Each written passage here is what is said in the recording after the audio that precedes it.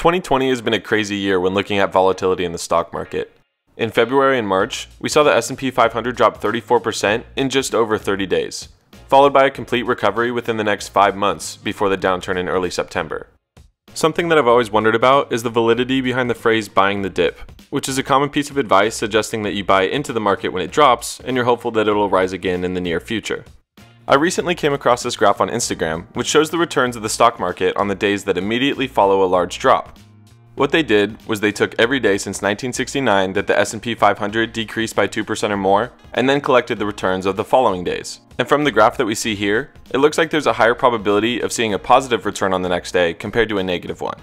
There were 182 days with positive returns and 156 days with negative returns, which means that 53.8% of days following a drop of 2% or greater had a positive return. So I wanted to look deeper into the results of buying the dip, but on this much shorter daily time frame. I'm hoping to be able to replicate the data in the chart, but I also want to look deeper into some other patterns of the S&P 500 as well. To collect the data, I used Yahoo Finance and downloaded the daily opening and closing prices of the S&P 500 since 1969. To calculate the rate of return on each day, I use this formula which takes the difference between the closing and opening price and then divides by the opening price. This means that the return that I'm calculating only takes into account what happens during regular trading hours. It doesn't include the movement that happens in pre-market or after hours trading. And here's what the distribution of our daily returns looks like, with a mean return of 0.03%. This chart is zoomed in to get a better view at the overall shape of the distribution, but when we zoom out, we can see that the worst day in the past 50 years was on October 19, 1987, also known as Black Monday, where the S&P 500 dropped 20.5% in a single day. The best day over the previous 5 decades was on October 28, 2008 during the global financial crisis. The S&P 500 increased by 10.8% even though it was during one of the worst months in the history of the stock market. So now let's see if our data matches what we saw in the graph from earlier. Once again, after days with a drop greater than 2%, they found 182 positive days and 156 negative days, which turned out to be about 53.8%. The data I collected gave some slightly different results, with only 172 positive days and 144 negative days, but the percentage of positive days was actually greater at 54.4%. It'd be helpful to compare these results to the percentage of all days that have a positive return, which turns out to be about 52.6%. So now that we've found similar results, let's test out some different values other than only looking at days with drops of 2% or greater. This graph here shows the proportion of days with positive returns after a previous return that was less than X percent. The red line shows the baseline, which represents the 52.6% of all days that have positive returns. We can see that days following a large drop have been much more likely to have a positive return on the next day, reaching over 70% in some cases, like when the market drops over 4% on the day before. This proportion gets smaller and smaller as the drops become less extreme, and at one point they even dip below a 50% chance, meaning that a negative day is now more likely.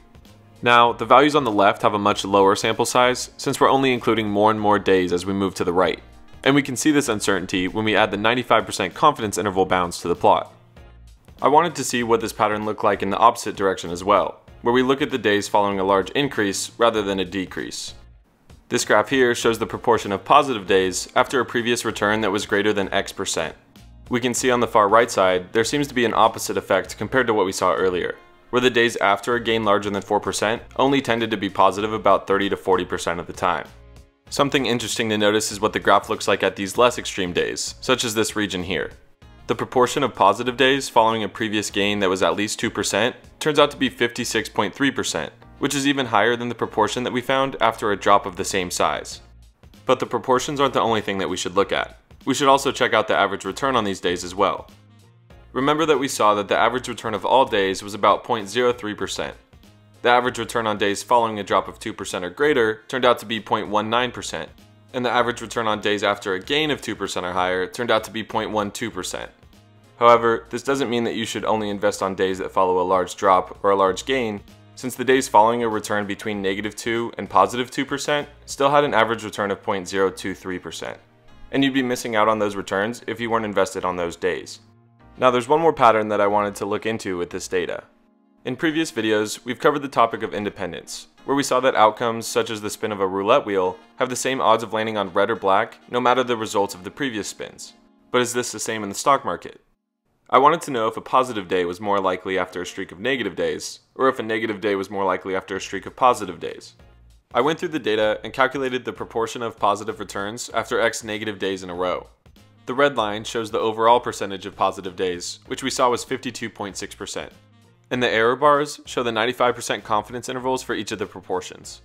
We can see that after zero negative days in a row, it seems to be slightly more likely for a positive day to occur at 53.8%.